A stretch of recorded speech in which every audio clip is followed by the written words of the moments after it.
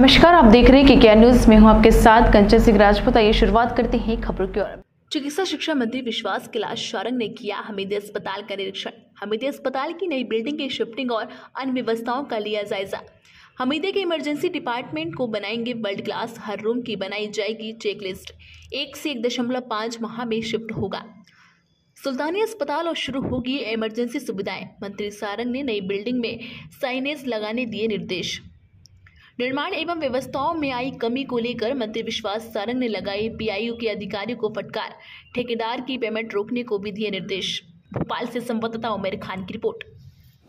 देखिए, आज मैंने गांधी मेडिकल कॉलेज से संबद्ध हमीदिया अस्पताल का दौरा किया है और मुख्य रूप से दो विषय पर आज हमने चर्चा की है। एक तो हमारा ड्रीम प्रोजेक्ट है इमरजेंसी मेडिसिन और ट्रॉमा यूनिट को हम वर्ल्ड क्लास का हमीदिया अस्पताल में बना रहे हैं। एनएमसी ने, में, हमने पाँच सीट का इमरजेंसी मेडिसिन की, पीजी सीट के लिए अप्लाई किया है। वो हमें जल्द से जल्द अप्रूवल मिलने वाला है। उस संबंधित हमारा रिक्रूटमेंट भी लगभग पूरा हो गया है इमरजेंसी मेडिसिन डिपार्टमेंट का। हम हमीदिया अस्पताल के इमरजेंसी विंग को वर्ल्ड क्लास का बनाने वाले हैं। आज हमने उसका दौरा किया।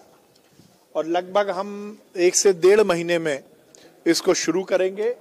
और जिस प्रकार से कॉरपोरेट हॉस्पिटल्स में प्राइवेट हॉस्पिटल में जो सुविधाएँ रहती हैं, उससे बेहतर सुविधाएँ मेडिकल हम इमरजेंसी मेडिसिन की यहाँ पर देने वाले हैं। दोनों चीज़ में एकेडमिक्स में भी और रोगियों के उपचार के लिए भी ट्रॉमा यूनिट हम बहुत ज़बरदस्त बना रहे हैं। इसमें तीन हमारे ओटी रहेंगे। उनके इंफ्रास्ट्रक्चर का काम पूरा हो गया इक्विपमेंट लगने का काम भी अगले हफ़्ते से शुरू होने वाला है। इस इमरजेंसी डिपार्टमेंट में हम हर तरह की सुविधाएँ उपलब्ध कराएँगे, चाहे वो रोगियों से पेशेंट से रिलेटेड हों या उनके परिजनों से संबंधित हों। उसके साथ ही हमारा सुल्तानिया जो हमारा जनाना अस्पताल है, उसकी शिफ्टिंग का भी हमने पूरा प्लान कर लिया है, वो भी जल्द से जल्द शिफ्ट हो सके। और लगभग एक महीने में हम उसकी भी शिफ्टिंग पूरी कर देंगे, उसका भी आज मैंने दौरा किया है और जो भी आवश्यक दिशा निर्देश हैं वो हमने यहाँ पर दिए हैं। नहीं अब देखिए जी। जो। कमियाँ हैं उसको पूरी करने के हमने निर्देश दिए हैं। और हर रूम वाइज चेकलिस्ट बनाकर समय से काम पूरा हो सके इसके निर्देश दिए हैं। लेआउट में जो प्रॉब्लम्स हैं उसको भी शिफ्टिंग के पहले हम ठीक कर सकें। उसके हमने निर्देश दिए हैं।